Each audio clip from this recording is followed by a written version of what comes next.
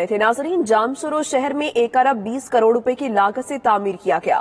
Over head برج ٹوٹ پھوٹ کا شکار ہو گیا ہے۔ اسی پر مزید بات کرتے ہیں۔ امداد خشک ہمارے ساتھ موجود ہے۔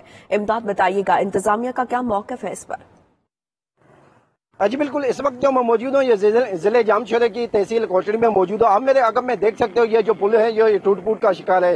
اس کے پل کا جو افتتاح کیا تھا، کچھ ماہ پہلے جو ہے پیپلز پارٹی کے جو چیئرمین ہیں، بلال بھٹو زرداری نے اس کا افتتاح کیا تھا۔ مگر بد قسم سے کہنا پڑتا ہے، اس پل کی جو ٹوٹل جو لاگت ہے، ایک ارب بیس کروڑ کی اس کی لاگت ہے۔ یہ جو پل جو ہے، یہ ٹوٹ پوٹ کا شکار ہے۔ یہ ضلع انتظامیہ کی نا اہلی ہے، یا سندھ حکومت کی نا اہلی ہے، یہ بو بولتا ثبوت یہ سامنے آ گیا۔ آپ میرے عقب میں دیکھ سکتے ہو، یہ جو ٹرک جو جو ہے گزشتہ دو دن سے یہاں یہ ٹرک جو پھنسی پڑی ہے، یہ ضلع انتظامیہ کے نئے اہلیہ جو یہ ٹرک ابھی تک نہ نکال سکے۔ ہیں دوسری جانب سے یہاں کے شہریوں نے مصالفوں نے، مطالبہ کیا حکومت سندھ سے اور چیئرمین بلال بھٹو سے کہ جلد سے جلد نوٹس لیا جائے اور اس جو پل کے جتنی بھی ناقص جو مٹیریل استعمال کیا گیا، اس کا نوٹس لیا جائے۔ جی۔